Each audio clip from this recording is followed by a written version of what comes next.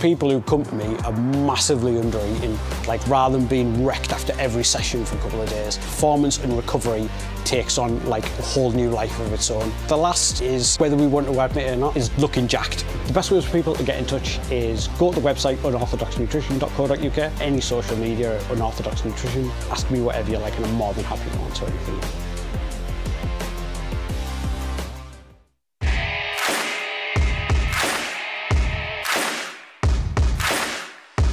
Yo, let's do this.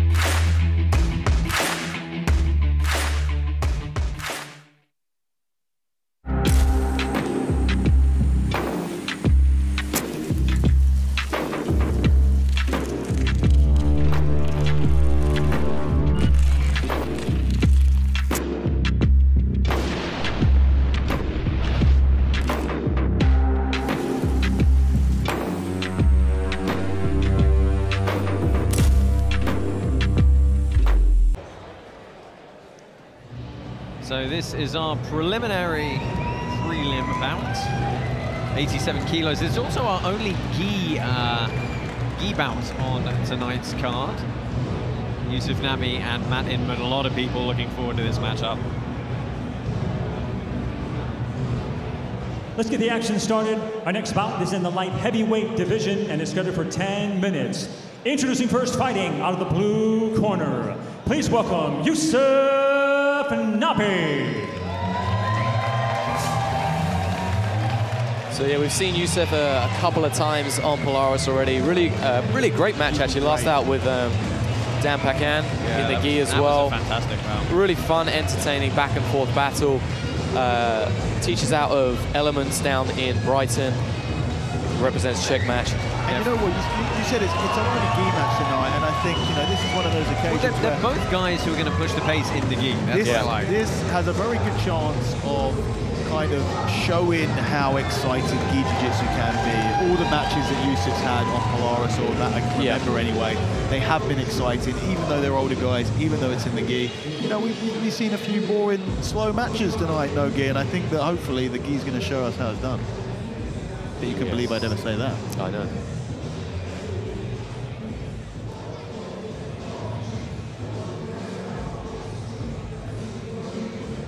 And now fighting out the red corner, Matt Inman. So Matt Inman is going to be his opponent here tonight. He's currently representing London Grapple after relocating down to the capital from his hometown of Manchester. Obviously a long time keystone member of SBG Manchester and coach there after late great Karl Tanswell passed away, but uh, making his home in London now. Seen him a couple of times before, and guys, he's got some crazy ambitions for competition this year. Yeah, so his plan for this year is to have 100 matches over the course of 2023. He's already uh, about 50 plus, which is insane. That's, you know, in, a, in uh, six months, that's a lot Yeah. of competing. He just competes everywhere. Pretty much Yeah. every Gi, competition no you can gi, do. weight absolute, Yeah. everything. Yeah, Yeah, so- he, he's someone who's not maybe particularly well known in the grappling community Yeah, because, because of his MMA background, but he's extremely highly I was, respected I was as to a say, let, grappler in the let's MMA world. not forget, he was a, a long-time standout of, of British MMA, Yeah. fought a lot on Cage Warriors, had some fantastic wins there, outstanding Muay Thai as well, but yeah, grappling's his home now. Let's get the action started.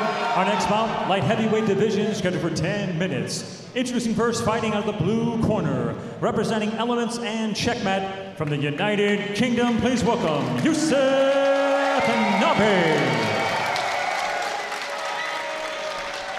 And now his opponent fighting at the red corner, representing London Grapple. Let's welcome from the United Kingdom, Matt Inman.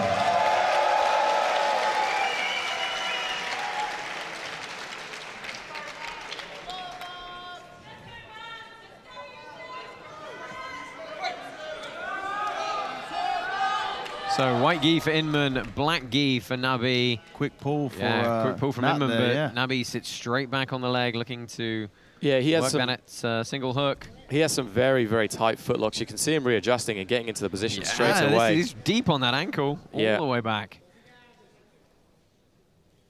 You see that Inman's trying to hand fight. That inside hook is a really good position for footlocks because it creates the bend. It allows you to get good pressure against the leg. Yeah, most people are used to putting it on the outside of the hip, but really going under the knee can help really stretch the opponent out and does the same thing of, of stopping their movement. Yeah, it gives you better distance control as well because you can press against the ribs. It's something that Mikey Musumeci does, who has probably the best straight footlocks out there, maybe other than Mateusz Szczeciński, who we're going to see later. But, um, you know, very savage from this position. I think Matthias uses the same thing, actually. Yeah, so Nabi is constantly elevating here. He's constantly keeping uh, Inman's balance tested here, but Inman's got a little bit of purchase on that foot now, driving the weight through it, using that collar to pull himself in tighter. Yeah, I mean, Yousuf has a great position to either sweep from the bottom or to then attack from the straight footlock. You can see he's got the hands, he can off balance. Yeah, and we're we're obviously forgetting what Nabi's doing with his left hand as well, that super strong pant grip. Yeah, and he's got a free leg to defend. If you know, if Inman brings that foot too much into the center, he can switch it into kind of like a, an Aoki lock in the center of the body as well. And there, Inman, you see, recognizes the danger and strips that grip. Yousuf trying to go to the, the lapel here, which can be, again, a, a good adjustment to tighten up the leg lock position. Makes it much more difficult to finish, but gives you better control over it.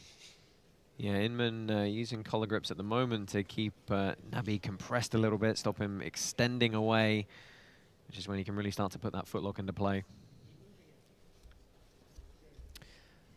Yeah, it's going to be a, a little interesting to see how they score this, uh, you know, talking about the points and whatnot, because Inman ended up on top because Yousuf fell off the top to go for that, that leg lock position. I think you've but- got to you've got to be giving it so far to Yousuf. Yeah, but that's what I mean. Now, Yousuf has been pretty much dictating the match from here.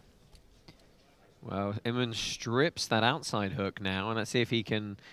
Almost looks like he's going to try and long step if he can get his uh, his grip out, but I don't think Nabi's going to give up that straight footlock grip anytime soon. Yeah, you see Nabi goes back in towards it. And now using it to come up and again immediately attack. Yuchingan trying to step on the hip Well, and this is- apply the pressure. We, we, we've seen basically uh, Yousuf is just having control on this leg, and then he's opening up the ability to, or open up the opportunity to really put pressure on it via threatening with the sweep. So this is the third time that we've seen Yousuf go for, you know, really go for it, not just hold the position, but actually try and apply the submission. So it's a, an, an interesting one about how do you score this? Do you score this as three footlock attempts? Do you score it as one footlock Yeah. attempts? You know? At the moment, his grip looks a little bit too low down on the collar. He's using that single hand grip on the collar, which is, again, a benefit of having the gi.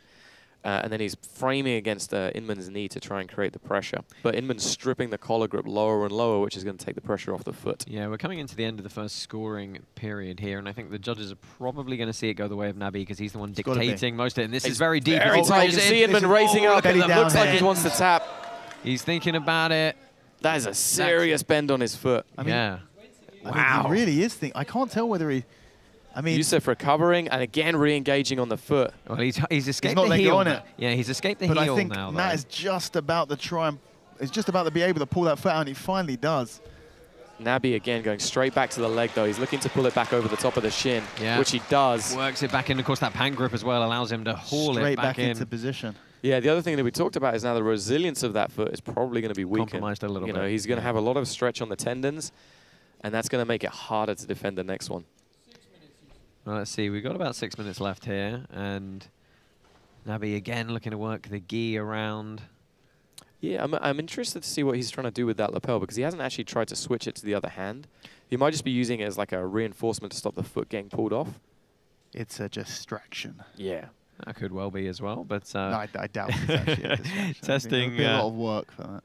testing uh, Inman's base again, keeping him well extended here over the top. It's interesting to see him static in this position. I perhaps thought he would have transitioned off this. Nabi could potentially use this to drag the hip. But again, going back into a nice lasso. Inman now in a much better position. Yeah, as he looks to try and drive the hips through, and again, very strong grips from Yeah, you, Nabi here. Yousuf doesn't look like he has any intention at all of taking top position. He's had many opportunities, both with that foot and without the foot. He doesn't look like he's trying to take uh, the top position at all. Well, as we hit the halfway point in this match, it's close guard for Yousuf Nabi. Yeah, he did. A, it was a very nice little bit of guard control he did there as well. You know, Inman was putting a ton of pressure down on top of him. Yousuf just used the lasso, controlled the distance, Oh, and when this Inman is the, dropped. the, the, the old school tied the belt trick. Listen, they're black belts, man. Yeah, and they're old. You know, you gotta, you gotta, uh, you gotta get the breaks where you can. well, 42 years old for Yousuf Nabi and 36 years old for Matt Inman. Okay, maybe not that old. Not that old. No, no. Just black belts. Close guard for Nabi here. Let's see what he looks to do with a different sort of gripping game now. Going on the collar. I mean, yeah, you know, if Inman stands up, he's going to look to grab the ankle, re-enter Yeah, he's gonna drop inside. that X, yeah. But now you can see that. I'm not sure. What, oh, it looks like Yousuf's trying to go for the. Um, And Ezekiel from the yeah, bottom. the Ezekiel from the bottom. Reached over the back, tried to grip inside his own gi. Again, Inman dropping to the knees. Excellent little bit of leg pummeling Yeah, from some, some dexterity from Nabi here, getting that outside hook all the way over the top, trying to perhaps again play that lasso game. Yeah. Inman trying to get around that leg. And Yousuf just kind of switching it from the hip to the inside reverse de la position. But not letting Inman get really close to him, which is, you know, good distance control. Nice work from referee Ollie Geddes. Yeah, just noticing a, a uh, toe. a foot stuck in the uh, the draw cord of the pants there. Nice open guard work from Yousuf here as uh, Matt tries the pass, but it looks like yeah, this is the best position so far for Inman, but nice, Nice. job from Yousuf And it was a lot Back of work to get to guard, yep. half a side control Yep. Yeah. position. That's what I mean. Like, it, you know, Yousuf's not actually doing that much work on bottom to maintain his guard. He's Yeah. also not panicking when he's in these kind of positions.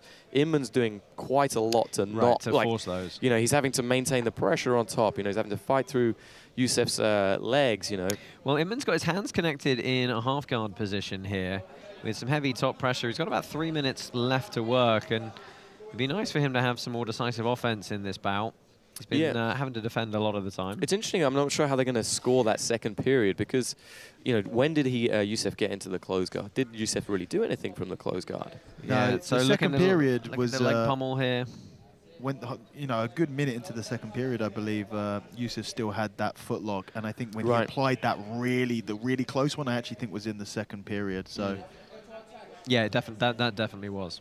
so I think you've got to assume that that that Yousuf is two up going into this third, and you know, Yeah. unless Matt can get a submission, in my opinion, that this is going to go to. Uh, Yousuf being quite kind of laid back in this position. He's not trying to, you know, Oh, he's bridging into this underhook now, trying to get back. Yeah. He does a good job of retaining guard, at least Inman- partially. Yeah, Inman doing a great job just stepping straight back over. oh, And Yousuf eh? going for the Ezekiel again from the bottom. Again, it looks like he has the hand position, but he doesn't have that leg gripped up. And now working harder to recover and get back to somewhere. Yeah, again, Inman's going to put the passing pressure on here. I do love the attitude of a man willing to sacrifice his guard in order to go for a highly low percentage. Yeah, that really locks you into your partner. Yeah. Take away both your arms. and a high-low percentage. a highly low percentage. Uh, so Inman with the top opposed to pressure. a lowly high percentage. We've got uh, minute 30 left on the clock here. One more preliminary bout coming your way. It's a ladies bantamweight match at 60 kilos.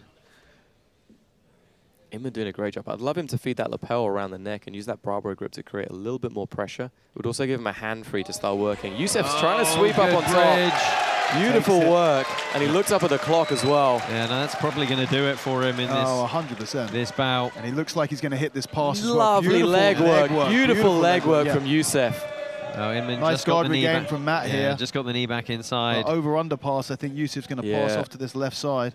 Well, Yousuf also has the benefit of being able to slow play a little bit more now right, as because he knows he's probably up. He's only 48 Yep. seconds left. I mean, Inman's kind of got to just throw something here. And he's Quite in a- what that is, I don't know. He's in a good position as well, as long as he doesn't kind of rush and uh, lift his head up too much. Yousuf might also just drop back for this foot. yeah, he certainly could do. Find himself in that uh, that X again. Yeah, I guess it depends on how Inman's confident trying to shoot is. the triangle. You see him putting all that, that tension in the, the grips and the feet. Got to do something. Might as well go for it. Yeah. Now he might try and go for like a one-arm triangle or something. Uh, Yousuf's just using that knee in the center to prevent their hips coming up. And now he's re looks like he's repummeled the arm inside. Inman going back in towards like a, uh, almost like a spider. Yeah, he's trying to shoot. He's trying to shoot left. it, he's trying to go for the triangle. It's not gonna. Yousuf is just like, I'm on top, I'm staying Yeah. here. Time rides out. I mean, he's, look, he's been doing this a very long Yeah. time. He knows where he's safe. He knows Yeah. where he's in danger. And a great performance by Yeah, Yousuf. really I mean- solid. I mean, we are assuming that he's got the victory there. I mean, I love that footlock position he started with. Yeah. It Yeah. seemed like he had answers for, uh, you know, any possible off balances or counters. it's such a strong position when you're in it. Let's take a look at some of the replays here. This was right back at the start. Getting a bite on that straight foot. Yeah, I mean, this was, I think, the best footlock he had, where he managed to turn him belly down, almost this, like this is the towards one, the, and then, bad and then side. he was here for like, and you saw the hand of Matt. I couldn't. It was like his body looked Yeah. like he was going to tap, but his face was pretty stoic the entire time. And then Matt just got his hips a little bit too far away, too close to Yousuf's legs, and Yousuf just bridged over the top and regained top position. Great match. Let's go ahead and make this one official. Ladies and gentlemen, go to the judges' scorecards, and they see it for your winner by unanimous decision, Yousuf Nabi. Well, as expected, Yousuf Nabi is going to rack up another win here in the gi on Polaris. Always entertaining. Commiserations to Matt Inman. We've got one more preliminary bout coming your way, and in about an hour's time, we are going to go live and exclusive on UFC Fight Pass for our main card. Seven bouts, two title fights in the welterweight and lightweight division. Join us again very shortly.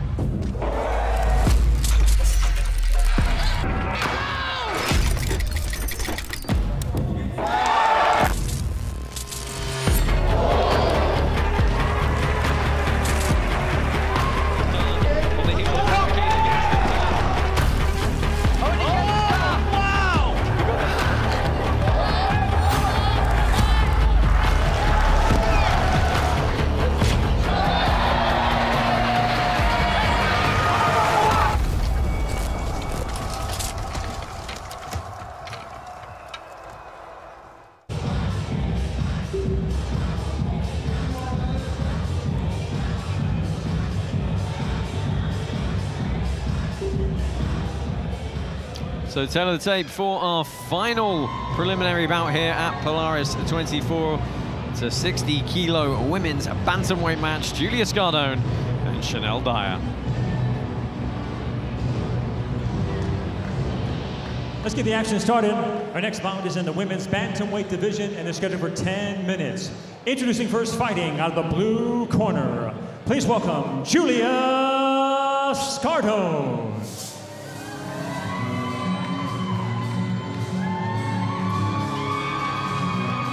Well, first to the match here, the mat here, Julia Scardone. She is splitting between the United Kingdom and Brazil and currently representing Carlson Gracie Hull. Yeah, Ju's been over in the UK for, I think, since she was 14, maybe a little bit younger than that. She's a very, very high-level judoka, represented the UK. Won, uh, I think she got bronze in the Pan Ams. Gee, who else do we know out of Carlson Gracie Hull who's a high-level judoka? Well, yeah, Her- that her would be... partner. Her, her- yeah, her partner. Um, Owen Livesey's also out of that. So, you know, she trains extensively there. Very, very solid game. Great takedowns. Really loves to push the pace as well. Yeah, we saw Julia on the, on the last uh, Polaris actually up in Doncaster. She was pretty dominant and then ended up being Yeah. uh, getting caught in an armbar by Melissa Hill. Yeah, she was like, came out like a, a, a firecracker, got to mount and just kind of, you know, lost control for a few moments and uh, ended up getting armbarred. And now let's welcome her opponent fighting out of the red corner, Shanelle Dyer.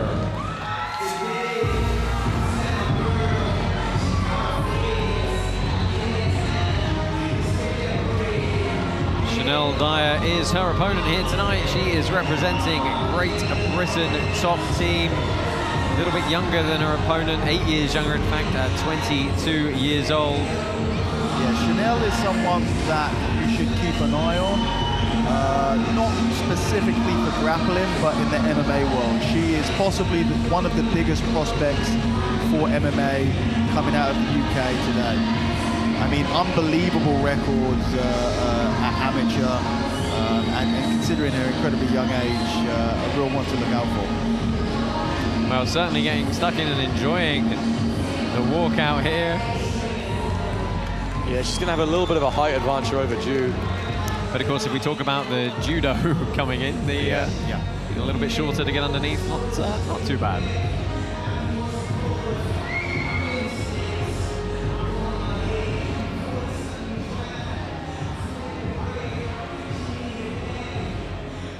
Let's get the action started. Our next bout is in the women's bantamweight division and is scheduled for 10 minutes. Introducing first fighting out of the blue corner, representing Carlson Gracie Hull from the United Kingdom, Julia Scardone.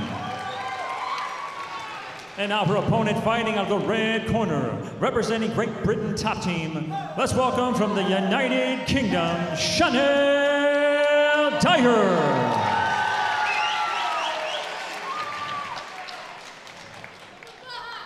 Your referee for this final preliminary bout is Greg Creel, Josh Palmer, Tom Bolo, Dan Strauss. Matt side for you here. So I've spent a little bit of time training with Ju. She's got a great upper body, uh, like grips, control, head positioning, things like that. Um, very strong in those positions as well, and she does a great job of linking it into her judo throws. You can see aggressively pushing forwards now. Yeah, trying to claim dominance over that head. Yeah, she uses a lot of like inside trips and things to set up the head control. And once she gets to the head control that she likes, then she's all about like big hip tosses and things like that. So Dyer trying to create some frames here. Oh, there you go. There's that inside trip you mentioned, Tom. Yeah. Nice little uh, attempt there, but now you can see Ju's hip starting to turn. That should be a warning sign to Shanelle that she needs to uh, do something. Well, they found the edge of the mats and uh, and he gets uh, pushed back to the middle here. Nice pace at the start of this one, though. Very aggression, aggressive from both ladies. Yeah. Yeah, I think this one's going to be scrappy throughout. Yeah, this is going to be, I, I, I, I suspect it's going to be a bit of a stand-up battle until someone gets kind of top control.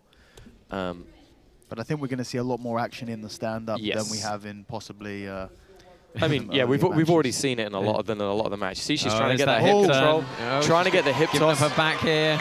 This Let's is see going if to she be looks uh, massive for Shanelle if she's able to get the takedown. Wow, and Julia does a great job of yeah separating those hands. I love the way that Jua immediately comes back in. She turns, strips the Yeah. grips, comes back They, in. they and like, didn't, they didn't break, and, no, you know. there was no like a single attack from either girl. You know, like Shanelle did a great job of, of, of timing that turn and taking the back, and then Ju immediately re-engaged afterwards. Well, this is the thing with that high level uh, MMA background that Shanelle's bringing in. She's going to be a lot more composed and a lot more skilled in the wrestling Oh, than again, a lot she's of trying the to shock. It looks Ju for the trying to get trip. the There we Uchimata. go. Now, Shanelle possibly jumping on the back here. Yeah, there she is- goes. Oh, both wow. hooks as well.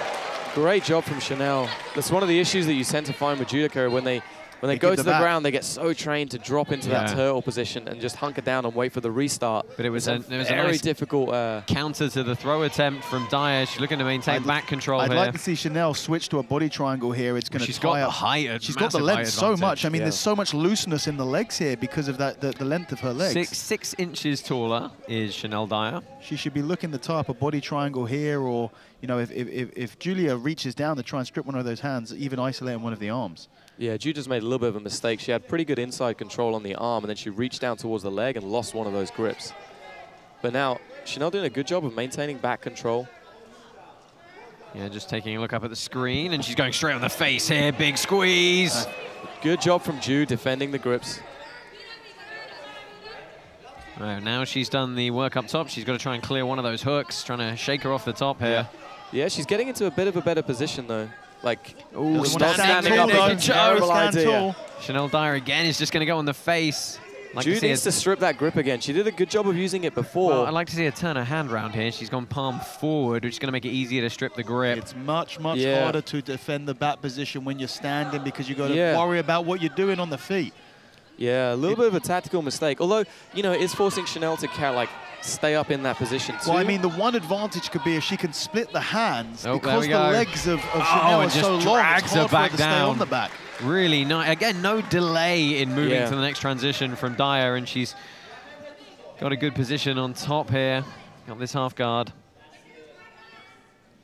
It's solid positioning By as the well way, I should, Dyer. should point out we're through the first uh, scoring Yeah. period here, Yeah. so Dyer probably going to take that one. She did get to the back uh, in that first period, so I mean, I've got to say, so far, the women putting on the uh, Yeah, I agree. the match That's of the great- night. great match. Right now, four minutes in. Come into scrap, right? Absolutely.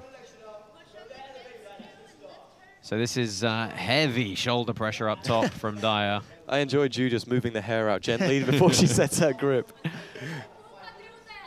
She needs to be careful not to let let Dyer just step that leg free. Dyer's going towards the mount again. I mean, it is going to be difficult uh, for, for Dyer to control and mount position here just because of how much longer her legs are relative to the short Yeah. torso. Right, of- she's going to have to play such Julia. a high mount. See, if Ju Julia's needs not to be careful, careful she's going to get the turn, back yeah. position again. Approaching the halfway mark in this final preliminary bout. A reminder, Nice. join us at uh, half past the hour on the dot, 7.30 p.m. GMT for our main card. Looks like she's going for like a, a wrist lock here, which is And it nice allows use, her to use of open it up. to get to the bat to the mount position. Yeah, and she can work that arm up. Well, she gives it up Yeah. now, but had the arm isolated for a moment. Yeah, not great positioning from Ju on the bomb. She needs to keep those limbs inside. So I actually think, uh, I, I mean, I think that, that maybe attacking from the mount position could be a good option here if Shanelle's able to get those arms high and come up into a S mount position and move. Well, Yeah, I think- the, I the think elbows are well and possible truly on triangle. the I think she might here. try and Yeah, I thought p- potential triangle using the gogoplata position, you know, that monoplata situation as well, with the, when she's reaching around the body. So Even she's that trying to expose yeah. these elbows. She's trying to open up here. Well, Scardone's got to really start moving here. Well, It's actually kind of the way that she's pushing on it is helping Ju out because it's keeping her arms in. Yeah. Oh, now looking she to needs go now. the Switch. There's the switch. Yeah, It's all about the angle of the arm here. If Shanelle can come off to the side, Well, let's Jude's see got to be careful about losing the grip. I would from here just no, no, no. She wants to go to a tighter position. Yeah. A bit of a mistake, a bit of a blunder on that gripping position on the arm. For a second there, it looked really tight. She just had to commit and sit off to the Ju side. working she's gonna super take this hard back to out the back. but Oh, and she's going to have to defend an She needs armbar to falling keep- off the top, yeah, perhaps. she needs as- to- coming possibly- back at is, the back Is here. the arm passed? It could be. I think there could be a, a reverse triangle from here, from the back. Yeah, it's potential, but I think Ju's do- doing a good job of She's going to controlling that head leg out here, underneath her. so Armbar's yeah, this still is, a wrist, This is going to be on the arm or the Kimura. Now, Shanelle also Shanelle needs can to roll be yeah, she needs to be careful not to get her own arm tangled up in it. Kimura's are essentially 50-50 positions. If Ju can step around the head, she'd be in an armbar herself. not with that leg there. So though. Shanelle either wants to roll through or she wants to grab onto the ankle and roll Julia onto her back. Oh, She's able let's to see. do that. I mean, the Kimura grip is there. The armbar will be there if she can just, but the physicality of Ju, I think, yeah, Well, that's pulling that. that. arm out of the position, but Works the arm back Shanelle's inside. not letting it go without a fight. Oh, it's getting a bit freer here, though. No, the, yeah, the it's hand getting out. its Ju way do the same thing again. She did a great job of just kneeling on it. There we go, trying to trap it back inside. Yeah, create that angle. She should be able to pull it free Yeah, now. she Well- looks free now. We are now through the second scoring period, which you got to say is probably going to go to Dyer as well. I mean, I don't think there's any doubt where either of the scoring periods are going so far. And now Ju needs to work. Well, she, yeah, she's got and she's she got needs a to start putting that pressure work. in. You know, the only to force that leg down, step over that leg, but then long legs with that foot in the yeah, she needs to. Re- Oh, nice react to the omoplata. Full on Oh, she might omoplata finish here. with the She could omoplata. get it. Oh, oh. We could see an omoplata Oh, finish. the like hand's moving. The hand was moving there. Yeah. Oh. Is she I gonna mean, when was the she's last gonna go time we all saw the way around the head? finish She needs to Polaris? roll Especially through. no gi as well. Yeah, she needs to roll through. This is not the, the correct hip Oh, movement. she's got her flattened out here. And There's the there's the tap. tap. Was it a wrist lock in the end? Yeah, I think so. Shanelle Dyer getting it done in our final preliminary bout here. I mean, I said she's one to look out for, and that is why. What an unreal yeah, great performance. performance. I mean, the omo, it looked like it could have been the omoplata. I think she just got on the wrist at the end. I'm going to be Yeah. slightly sad if it wasn't an you, were, you were so excited. we So were finally going to see excited. a, a, an omoplata shoulder lock here. But what but, a uh, performance. Yeah, she did. She did fantastic. Let's have a look at some of the replays from that bout. See what we can pick apart. This was this standing rear naked choke position.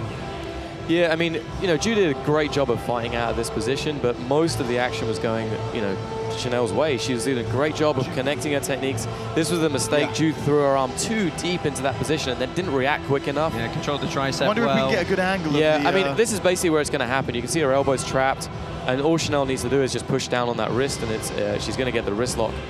Yeah, let's have a look here. So looking to go around the head. There's that wrist trapped. Yeah, and there she you does go. push down on the wrist. Yeah, push down on the wrist, and that is going to be a wrist lock submission. What fantastic work from Shanelle Dyer. Let's go ahead, get her hand raised.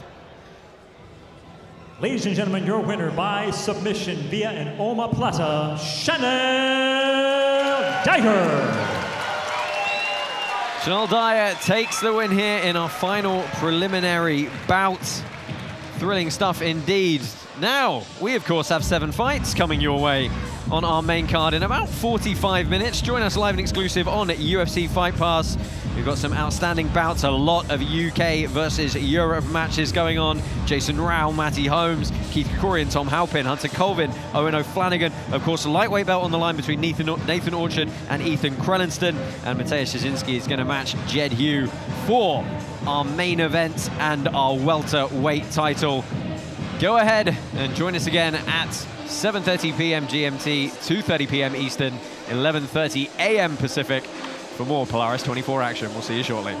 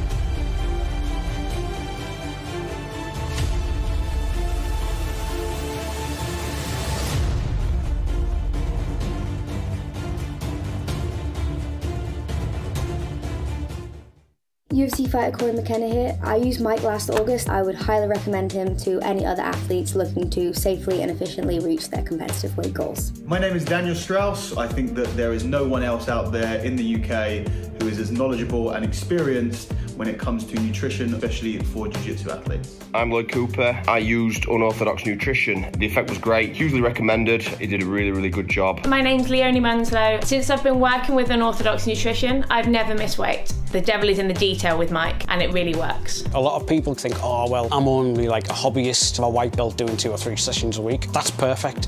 Most of my clients are not the pros. It's the everyday guys, the hobbyists, who want to get the most from their training. The difference that we can to the average BJJ hobbyist is threefold. First is health, making them feel better, making them sleep better. The second would be performance. Most people who come to me are massively under eating. Like rather than being wrecked after every session for a couple of days, performance and recovery takes on like a whole new life of its own. The last is, whether we want to admit it or not, is looking jacked. The best ways for people to get in touch is go to the website unorthodoxnutrition.co.uk, any social media, unorthodox nutrition, ask me whatever you like and I'm more than happy to answer anything. Yo, let's do this. Get up.